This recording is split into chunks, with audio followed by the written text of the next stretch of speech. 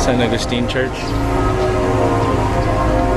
One of the four Baroque churches inscribed in the World Heritage Sites list of UNESCO.